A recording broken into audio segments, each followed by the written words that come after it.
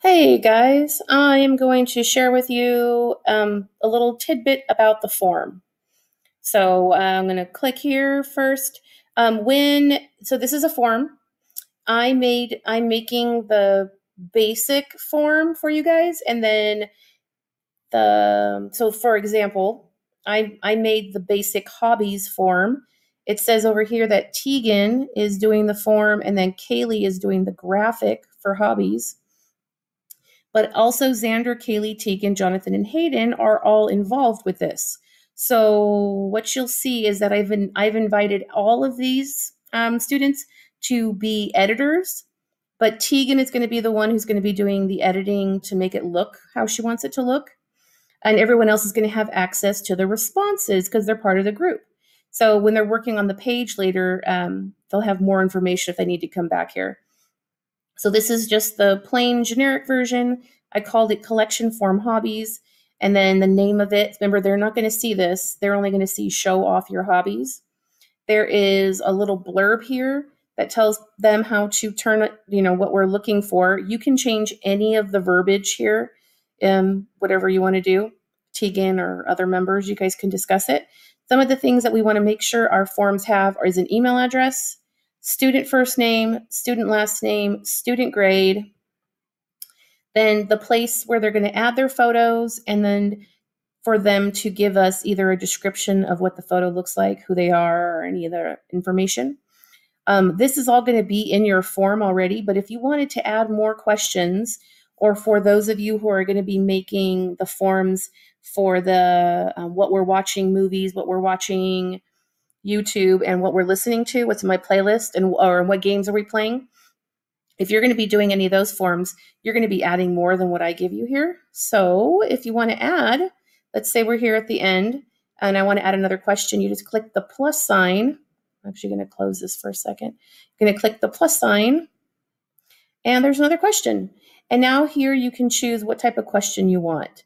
So short answer is for first, last name, and um, grade a paragraph, which is right here. They asked for a paragraph so they could write a little bit more. Um, if you're making the um, what we're watching, what we're gaming, and what we're listening to, you might be using the multiple choice, the check boxes, and the drop down menu for those um, forms, but we're not going to for these other forms. And then if it's time to, if you want to add another place to fill in another type of um, photo, if you click File Upload, that is what creates um, the little tidbit about how to turn in your photo. But I already did that. The reason I did that ahead of time is because the this actual folder where all these responses go into is going to be in my Google Drive. So every student will have access to it just in case something happens and somebody's sick and someone else needs to take over. We'll have access to all that stuff.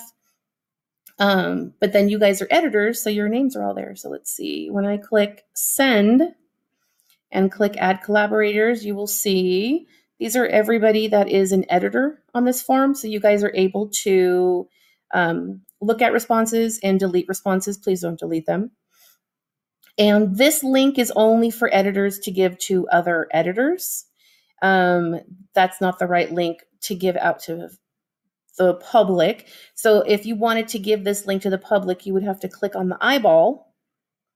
Now, this right here shows you what the form would look like without the editing capabilities.